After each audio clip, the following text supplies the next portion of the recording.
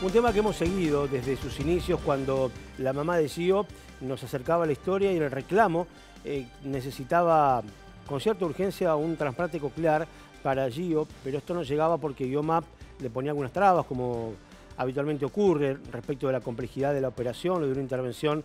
Las obras sociales no siempre tienen la mejor predisposición o por ahí no tienen eh, los aportes necesarios, no los aportes, los fondos necesarios.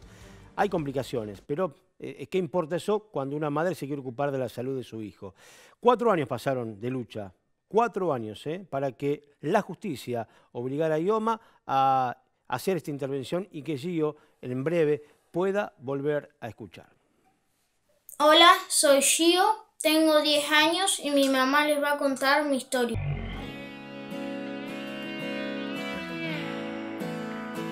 La historia de Gio comienza en el año 2017 cuando mediante las maestras de la escuela descubrimos que Gio tenía algún problema para comunicarse, tenía dificultades en el aprendizaje, entonces empezamos a hacerle estudios y eh, nos dimos cuenta de que Giovanni no escuchaba.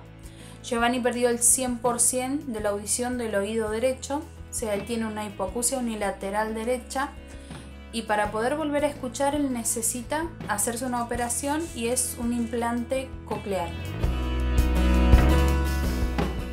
Se le solicitó a IOMA eh, el implante para Giovanni y en noviembre del año pasado IOMA nos respondió con una negativa eh, sin fundamentos y de ese, a partir de ese momento tuvimos que iniciar acciones legales haciendo un recurso de amparo.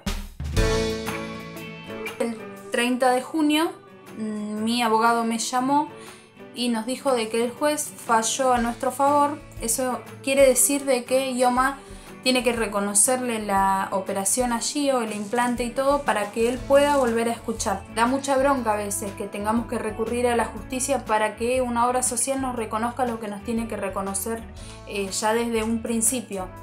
O sea, no tendríamos que estar esperando tanto tiempo como Gio, que esperó casi cuatro años para que tener una mejor calidad de vida. No me acuerdo cómo es la sensación eh, de escuchar de los dos oídos. Yo sé que ahora tengo que esperar un tiempo para operarme. Y también tengo un poco de miedo en la operación. Un poquito, un poquito porque mamá lo va a apoyar y vamos a salir adelante. ¿No es cierto? Sí. El paso más importante ya está.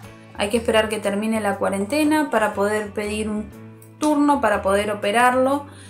Y nada, la familia está feliz porque costó mucho, son casi cuatro años de lucha. Y Gio, ¿estás? ¿Cómo estás Gio? Feliz. Estoy contento porque voy a poder volver a escuchar. Y, y estoy muy feliz